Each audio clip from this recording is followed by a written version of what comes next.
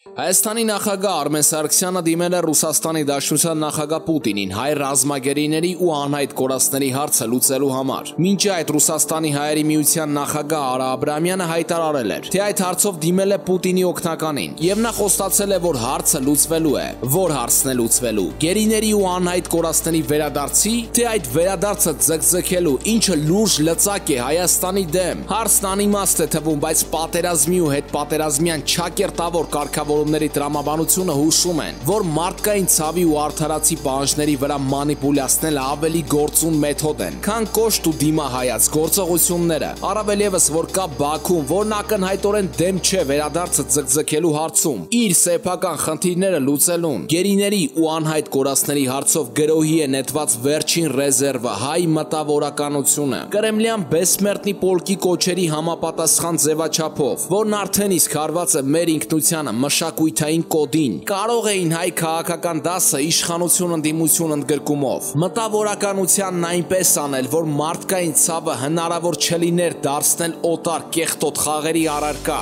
Ընդհանրապես 30 տարվա քաղցր խապկանքի ողբերգական ավարտն ընդունել արժանապատվորեն։ Գալիք անելիքների հստակ գիտակցումով 200-ամյա մղձավանջից արթնանալու վճռականությամբ։ Պուտինին դիմել է այս հարցի բացասական պատասխանի վերջին եւ անբեկանելի փաստ հաստարկներ։ Հաջորդ թիվ ձեզ կներկայացնենք սկանդալային եւ մեծ աղմուկ բարձրացրած մի օդված, խնդրում ենք բաց մի թողեք այս տեղեկությունները, բինդ եղեք։ Պարոն Հովանիսյան, Նիկոլ Փաշինյանն իր վերջին հերոստաուղերձի ժամանակ հիմնականում կենտրոնացավ նախկինների վրա։ Նրա խոսքով նրանք ուզում են պատերազմը տեղափոխել Հայաստանից ներս ու արյունով գալ իշխանության։ Նախկինների վերադարձով վախեցնելը իշխանությունը պահելու արդարացում է, թե կան դրա նախադրյալները։ Հովանիսյան, երկու հանգամանքներն էլ պետք է հաշվի առնել։ Նիկոլ Փաշինյանը նախկինների վերադարձի թեման օգտագործում է իշխանությունը պահելն արդարացնելու նպատակով, բայց դա չի նշանակում, որ այն նույն ուժերը, որոնք Սերժ Սարգսյանի կառավարման տարիներին իշխող կոալիցիայի կազմում էին եւ այսօր նորից համախմբվել են ու նորից ձգտում են իշխանության հասնել, վտանգ չեն ներկայացնում։ Հեղափոխության հաջորդ իսկ օրվանից այդ ուժերը ջանք ու երանգ չեն խնայել, որ เป զի խարխլեն երիտասարդներից բաղկացած ու փորձառությունից զուրկ Փաշինյանական վարչախմբի միջազգային դիրքերը։ Դա արվում էր եւ արևմտյան ուղությամբ հիմնականում ԵԺԿ-ի հետ ՀՀԿ-ի կապերի ու Սերժիկ Սարգսյանի Բրյուսել կատարած այցերի միջոցով եւ ռուսաստանյան ուղությամբ Մոսկվայում հայտնի պրոադրբեջանական լոբիստների միջոցով, ինչպես հայազգի հայտնի լոբիստների, այնպես էլ այլազգի հայտնի լոբիստների։ Ռուսական ուղությամբ այս քայքայիչ ջանքերի կուլմինացիան եղավ հուլիսյան ռազմական միջադեպից առաջ Գագիկ Ծառուկյանի հայտնի հայտարարությունն այն մասին, որ Հայաստանում գնալով թափ են հավաքում հակառուսական ուժերն ու տրամադրությունները, որոնց դեմ ինքը մտադիր է պայքարել։ Հենց այս պայմաններում եւ այս ֆոնի վրա Ալիևին, ով ճարպկորեն օգտվեց Հայաստանում հակառուսական ուժերի կտրուկ ակտիվանալու մասին բերիական ոգով արված այս կեղծ մատնությունից, հաջողվեց Կրեմլից խոստում կորզել առայն, որ առաջիկա պատերազմական գործողությունների ընթացքում Մոսկվան կպահպանի չեզոքություն եւ չի օգնի իր դաշնակից Հայաստանին։ Նախկինների կողմից սա ոչ այլ ինչ էր, քան հակապետական դիվերսիոն գործունեություն, որը խարխլեց հայ-ռուսական հարաբերությունները պատերազմին նախորդած ամիսներին եւ ճանապարհ բացեց հայկական կողմի պարտության համար։ Դա ասում եմ ամենևին չանտեսելով Նիկոլ Փաշինյանի վարչախմբի տհասությունը, որը դրսևորվեց այդ նույն ժամանակ ռուսական հերոստալիքները մուլտիպլեքսից հանելու տեսքով եւ որը անշուշտ նպաստեց հայ-ռուսական հարաբերությունները խարխլելու ուղղությամբ պաշտոնական Բաքվի եւ մեր նախկինների համատեղ ջանքերի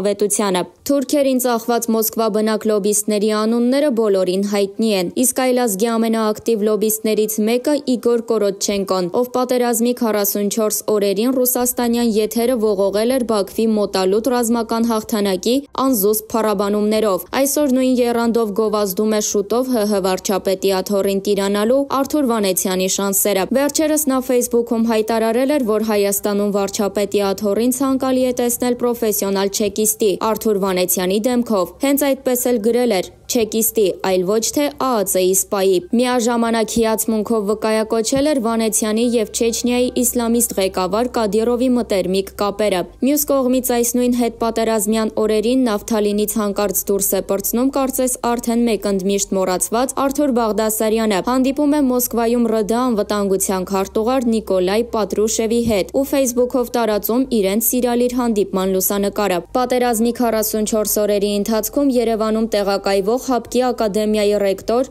Արթուր Բաղդասարյանի ձեն ծպտունը գոնե մեկ անգամ չլսվեց։ Նա ոչ մի բանով չհիշեցրեց հանրությանը այն մասին, որ Հայաստանում այդպիսի ակադեմիա է տեղակայվում եւ ինքն էլ դրա ռեկտորն է։ Չհիշեցրեց ոչ այն ժամանակ, երբ թուրքը ռմբակոծեց Կապանի մերձակայքը, ինչի հետևանքով զոհվեցին ՀՀ քաղաքացիներ։ Ոչ այն ժամանակ, երբ թուրքը ՀՀ տարածքում սու օթանավը հրթիռակոծեց, ինչի հետևանքով զոհվեց մեր օթաչուն։ Իսկ հետո նաեւ ԱԹՍ-ի օգնությամբ սպանվեցին եւ վիրավորվեցին խեղճ վարդենիսցիները, բայց հիմա փորձում է նույնպես մասնակցել սկիզբ առած աթորակռվին, այն էլ Պատրուշևի օգնությամբ եւ մեզ ոչ մի բանով այդպես էլ չօգնած ՀԱՊԿ կոչեցյալի զինանշանով։ Ոչինչ, որ այժմ ՀԱՊԿ-ի ակադեմիայի ռեկտոր, իսկ ժամանակին ԱԺ նախագահ Արթուր Բաղդասարյանը ուկրաինական առաջին Մայդանի հերոս Յուրշչենկոյի հետ այդ նույն Մայդանում ելույթ էր ունեցել, որից հետո այդ նույն Պատրուշևի իմացությամբ նրա ինքնաթիռը Մինսկում վայրեջքի ժամանակ հանկարծ վառվել էր եւ ինքը հրաշքով էր փրկվել։ Ոչինչ, որ 2006 թվականին Պատրուշևի շեֆ Վլադիմիր Պուտինի բարեկամ Ռոբերտ Քոչարյանը ԱԺ նախագահ Արթուր Բաղդասարյանին մեղադրել էր դավաճանության մեջ։ Այն բանից հետո, երբ մամուլում հրապարակվել էր նրա եւ Անգլիայի դեսպանատան տանիքի տակ աշխատող մի 6-ի գործակալի սրճարանային զրույցի գաղտնալսումը, որի ընթացքում Արթուրը համոզում էր բրիտանացի ռեզիդենտին օգնել Հայաստանում գունավոր հեղափոխության կազմակերպման հարցում։ Ոչինչ, որ այդ նույն ժամանակ Արթուր Բաղդասարյանը ստիպված էր նույն Քոչարյանի պնդմամբ հեռանալ ԱԺ նախագահի պաշտոնից, որովհետև հայտարարել էր, որ Հայաստանը պետք է դուրս գա ՀԱՊԿ-ից ու անդամակցի ՆԱՏՕ-ին։ Այդ ամենը կարևոր չէ, եթե այսօր խնդիր կա հեռացնել Նիկոլ Փաշինյանին վարչապետի պաշտոնից, սակայն հարց է առաջանում. ինչով է նախկինում ՆԱՏՕ-ի մասին երազող եւ Հայաստանում գունավոր հեղափոխություն կազմակերպելու պատրաստ Արթուր Բաղդասարյանը նախընտրելի նույնպես նախկինում արևմտամետ եւ այժմ նույնպես Ռուսաստանամետ դարձած Նիկոլ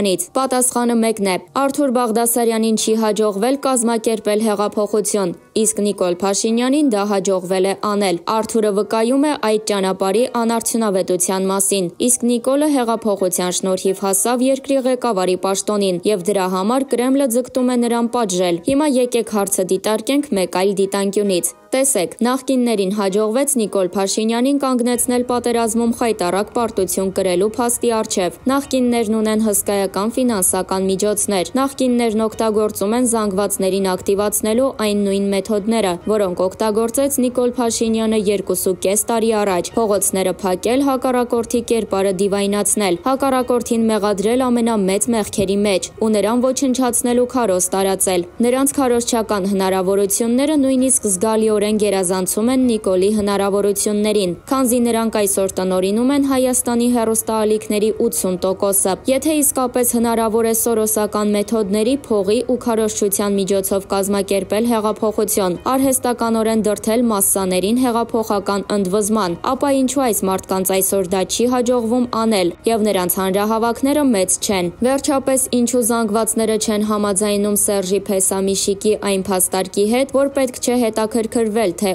ով կփոխարինի Նիկոլին վարչապետի պաշտոնում։ Չէ որ մարդիկ այն ժամանակ ասում էին թող Սերժը Ռադը քաշի եւ դրանից հետո ով ուզում է թող նա էլ լինի երկրի ղեկավար։ Հիմա ճարահատյալ ասում է Միշիկը. մենք ենք նույնն ասում եւ ինչու չեք համաձայնում։ Միթե այս ամենը տեսնելով Կրեմլը շարունակելու է պնդել, որ առանց ժողովրդի ցանկության ինչ որ սորոսական տեխնոլոգիաների միջոցով, քարոշչական ճիքերի ու չեղած տեղը ատելություն սերմանելու միջոցով հնարավոր է արհեստականորեն հեղափոխություն կազմակերպել։ Դե թող պատերազմի արդյունքներից այս մեծ դժգոհության պայմաններում հեղափոխություն կազմակերպեն։ Բերեն հանրապետության հրապարակը լցնեն մարդկանցով ու քշեն Նիկոլին, ինչպես ժողովուրդը քշեց Սերժին 2.5 տարի առաջ։ Չի ստացվում, որովհետև սխալ է այն պատկերացումը, որ մեզանում հակասերժական հեղափոխությունը կազմակերպել են ինչ-որ մութ ուժեր, մարդկանց հոգեխանգարմունքի մեջ գցելու ինչ-որ սորոսական մութ մեթոդներով։ Այդ նույն սորոսականների մտերիմ ընկեր Միշիկը լիովին տիրապետում է այդ մեթոդներին եւ այսօր օգտագործում է այդ մեթոդները։ Դե թող հասնի հաջողության։ Չի հասնի, որովհետև հայերին հարիֆացնել հնարավոր չէ։ Հարց. Վարչապետը կառավարության կազմում էական փոփոխություններ է իրականացրել եւ գործընթացը դեռ շարունակվում է։ Մի շարք նախարարներ փոխվեցին։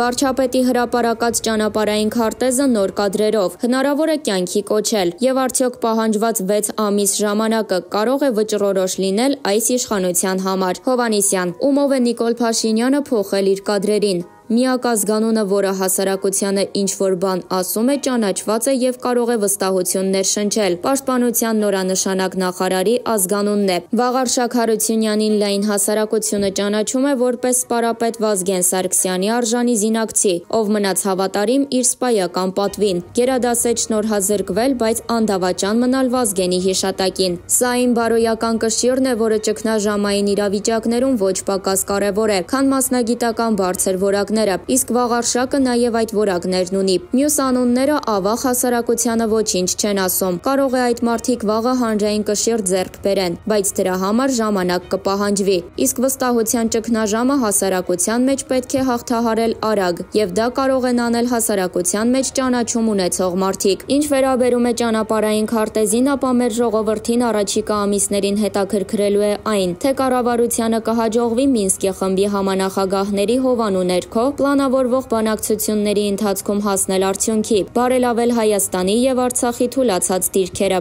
Մարդիկ երբեք չեն հաշտվի այն մտքի հետ, որ մենք այդքան զոհեր տվեցինք։ Մեր երիտասարդների մատաղ կյանքերը խորտակվեցին, բայց մենք չկարողացանք ինչ-որ բանի հասնել։ Կորցրինք 30 տարիների մեր բոլոր նվաճումները։ Փաստորեն մենք այսօր հայտնվել ենք կոտրած տաշտակի առջև։ Մենք փաստորեն վերադարձել ենք 1989-1990 թվականներ, երբ Արկադի Վոլսկու գլխավորությամբ ստեղծվեց լղիմ հատուկ կառավարման կոմիտեն, որը հետո շատ կարճ ժամանակում ՀՀՇ-ի ջանքերով լուծարվեց եւ կոնֆլիկտը մտավ պատերազմական փուլ։ Հիմա մենք վերադարձանք ի շրջանս յուր։ Մեր ժողովրդի 30 տարվա մակարոնների գնով ձեռք բերված արդյունքները մեկ ակնթարթում գոլորշիացան, դարձան առ ոչինչ։ Հարց. Մյուս կողմից 16 կուսակցությունները շարունակում են պահանջել վարչապետի հրաժարականը։ Դրան զուգահեռ էլ փնտրում են իրենց միջից վարչապետի համար տեխնացու։ Մամուլը տարբեր անուններ է հրապարակում, որոնք իբր Ռուսաստանի համաձայնությամբ են։ Ձեր կարծիքով կհաջողվի ընդդիմության ներսից վարչապետի տեխնացու ընտրել, որը կարողանա համախմբել բոլորին ու իշխանությունից դժգոհ զանգվածին։ Հովանիսյան. Նախկինների կողմից ծրագրված է եղել Նիկոլի գլխին կոտրել Ղարաբաղյան գլուխկոտրուկը, ինչ ինչից հետո վերադառնալ իշխանության եւ վերահաստատել քրեա օլիգարխիկ համակարգը։ Հեղափոխությունը կարող է վերջնականապես տապալվել ոչ թե ինչ-որ ժամանակ հետո,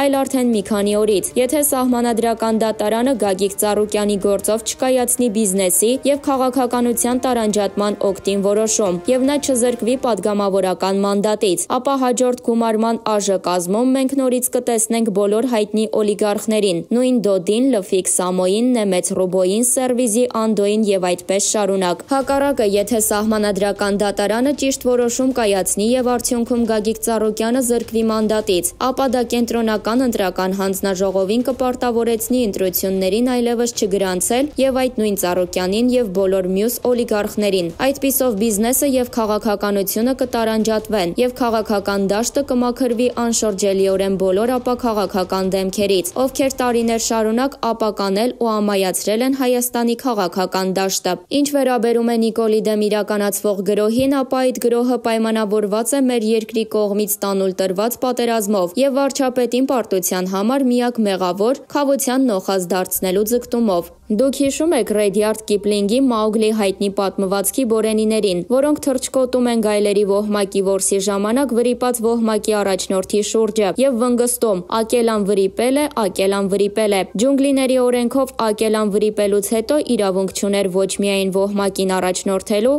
այլև պետք է սպանվեր նրան փոխարինելու պատրաստ գազանի կողմից։ Հիմա ստացվում է, որ մեզ համոզում են համակերպվել ջունգլիների այդ գազանաբարով վարվելակերպի հետ եւ հետեւել, թե ինչպես է իրենց կողմից Նիկոլի իրավահաջորդ նշանակվածը վերջինիս հոշոտում։ Դե ինչ ասեմ, եթե Փաշինյանը քաղաքական դիակ է, ապա ստացվում է, որ նրան հոշոտելու կոչեր անողները Լեշակեր Բորենիներ են, ինչով են հիմնավորում Նիկոլին հոշոտելու իրենց ցանկությունը։ Նրա կողմից ստորագրած տխրահրճակ հայտարարությունը, ինչպես ռուսական Սպուտնիկին Արթուր Վանեցյանը ասաց, մնայուն պայմանագրում իմպլեմենտացիա անելու սեփական պատրաստակամությամբ, այսինքն իրենք գտնում են, որ իրենք ավելի լավ կարող են Նիկոլի ստորագրած բովանդակությունն ամրագրել արդեն մնայուն եւ իրավական ուժ ստացած խաղաղության պայմանագրում։ Ռուսը կասեր «Только и всего»։ Իսկ ինչ կարող է անել Նիկոլը։ Նիկոլը կսպասի հունվարի 20-ին, երբ չակերտավոր սորոսական Բայդենը կստանձնի ԱՄՆ նախագահի պարտականությունները եւ դրանից հետո հետաքրքիր է ինչպես եւ ում օգնությամբ են ռուսները հասնելու այդ խայտարակ հայտարարության իմպլեմենտացիային օրինական միջազգային պայմանագրում Վանեցյանի, Վազգեն Մանուկյանի, Դոդի Գագոյի, Միշիկի կամ Սերժիկի ծիծաղելի է, բայց առայժմ թեկուզ միայն տեսականորեն հնարավոր է որ ինչպես Ալիևն էր Արցախի կարգավիճակի հարցն ուղարկում գրողի ծոցը, այնպես էլ երկու ամսից Նիկոլ Փաշինյանը Բայդենի ու Մակրոնի աջակցությամբ գրողի ծոցն ուղարկի անելանելի վիճակում իր կողմից ստորագրված չարաբաստիկ հայտարարությունը։